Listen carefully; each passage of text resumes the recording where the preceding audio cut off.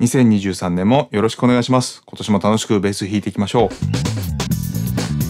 デーマガウェブ石村淳の低音よろず相談所第95回。今年こそレベルアップしたい。そのためにはどうやって練習していけばいいのか。新年ということで今回は練習への向き合い方についてです。参考になればいいなと思います。えー、何を練習するかつまり練習内容ももちろん大事なんだけど、まあ、人によってやりたいこともレベルも違うので練習内容も人それぞれですよね。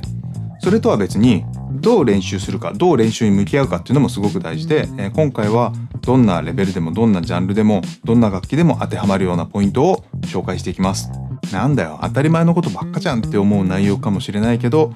意外とやってない人多いかなと思います。まずはもうほんと当たり前すぎますが毎日練習しましょう。レベルアップしたいんだったら、もうどんなに忙しくても、1日3分でもいいから、毎日練習しましょう。基礎練でも曲の練習でも何でもいいんで、時間が短いなら短いなりに、とにかく毎日楽器を触りましょう。何日間演奏しないだけでもう体なまっちゃうんで、もう練習ゼロよりも全然マシです。とはいえ、3分はさすがに短すぎじゃねえって思うかもしれないけど、逆にそこがミソです。例えば、1日60分くらいは練習しなきゃいけないって思い込んでると、えー、忙しい日とかね、えー、人によってはもう今日は疲れたからいいやって諦めちゃうかもしれないけど、3分で OK ってなったら、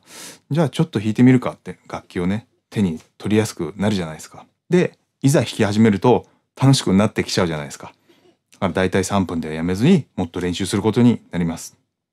あとは音が出るまでの手順を少なくしとくといいですね。ケースから楽器を出してアンプを電源につないで、えー、エフェクトボード持ってきてシールドをつないでってなるとめんどくさくなっちゃうんでいつもの椅子の横の楽器を持ってアンプをオンにしたら音が出るぐらい手軽にしておくといいです。それからこれも当たり前すぎのことなんだけど練習するなら集中して練習しましょう。ぼーっとしながらねだらだら60分練習するより15分とか集中して練習する方が全然いいです。そして集中するって言ってもただひたすら闇雲に指を動かすとかじゃなくてその練習の目的とそれから注意点をちゃんと踏まえて練習するのが大事です。何のための練習なのか、どこに気をつけるべきなのか、これをしっかり意識して練習すると効果的です。またね、練習しっぱなしじゃなくて、ちゃんとできてるかどうかチェックするのも大事です。そうしないと、割と演奏できてるつもりが実はできてなかったりするんですよね。なので、録音したり、録画したりしてチェックします。まあ自分の演奏を聞くとね、凹んだりしがちなんですけど、まあ、そこは冷静に、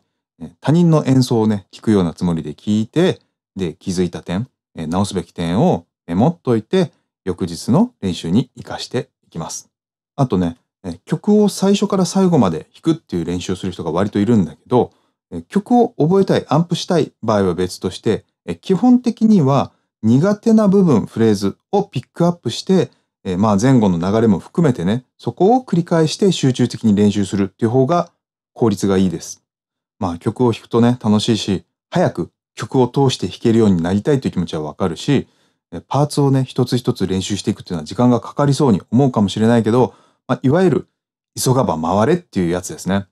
パーツが出来上がってない状態のまんま、全体を何度も何度も繰り返すよりも、主に苦手なパーツに集中して取り組んでクオリティを上げていって、それを少しずつつなげて全体を組み立てていく方が結局は近道です。ということで今年もベースガンガン練習していい音楽いいグルーブを世界に届けていきましょう。石村淳でした。